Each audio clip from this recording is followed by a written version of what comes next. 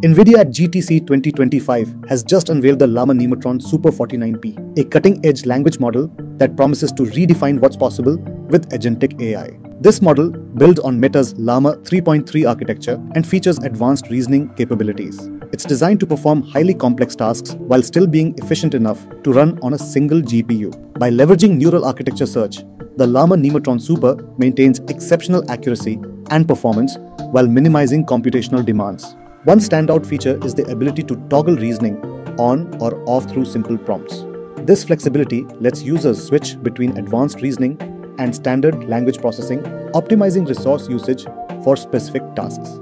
The model also excels in industry benchmarks like GPQA Diamond and Math 500, showing its strong decision making and reasoning skills. With availability through NVIDIA's NIM microservices and Hugging Face, the Llama Nemotron Super 49B is set to become a go to model for businesses and developers alike.